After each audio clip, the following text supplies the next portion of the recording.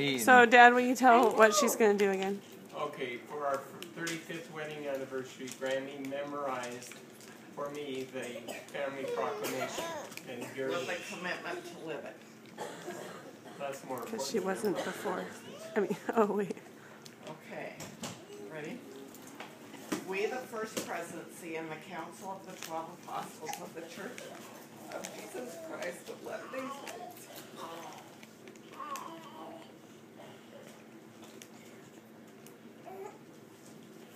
solemnly proclaim that marriage between a man and a woman is ordained of God, for the family is to the Creator's plan for the eternal destiny of His children. All human beings, male and female, are created in the image of God. Each is a beloved spirit, son or daughter of heavenly parents, and as such, each has a divine nature and destiny.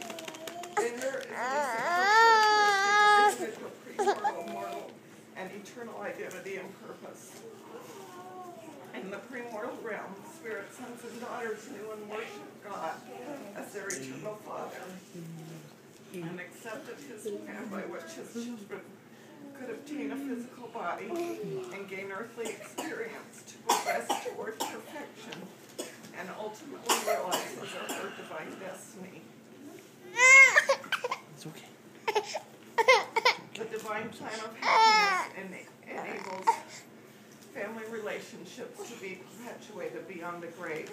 Sacred ordinances and covenants available in holy temples make it possible for individuals to return to the presence of God and for families to be united eternally. The first commandment that God gave to Adam and Eve pertained to their potential for parenthood as husband and wife.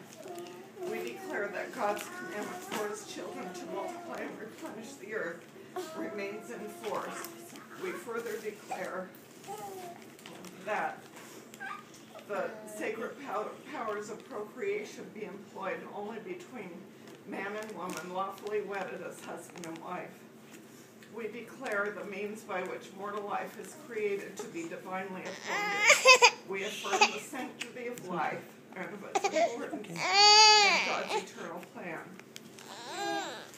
Husbands and wives have a solemn responsibility to love and care for each other and for their children.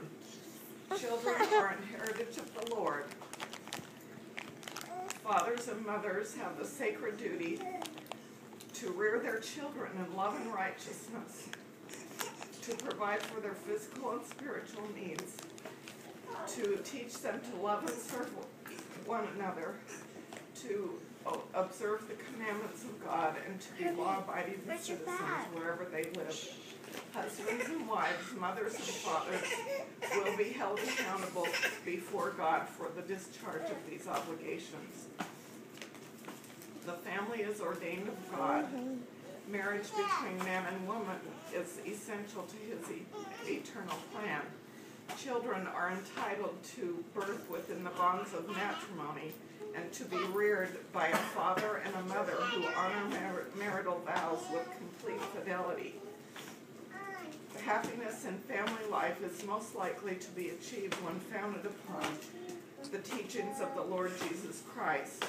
Successful marriages and families are established and maintained on principles of faith, prayer, repentance, forgiveness, respect, love, compassion, work, and wholesome recreational activities.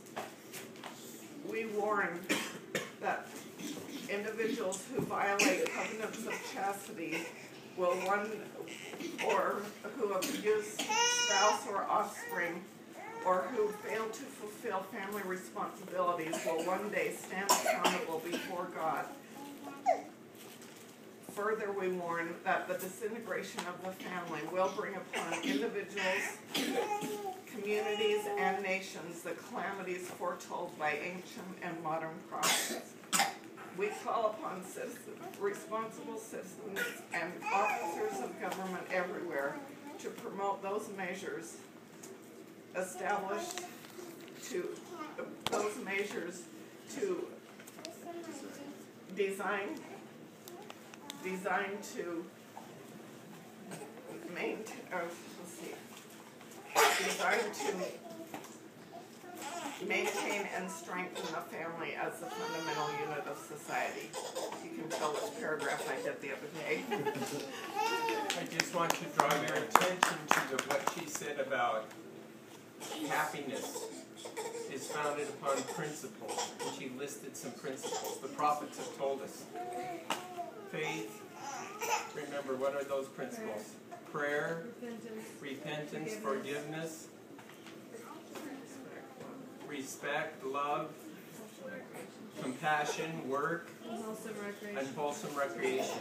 We hope that you enjoy all of these blessings because we know that happiness in our lives for over 50 years that we've been alive on this earth comes through exactly what the prophets have said. And we hope to enjoy some of that together with you all today and hopefully for many, many years to come. And I say this in the name of Jesus Christ. Amen. Amen.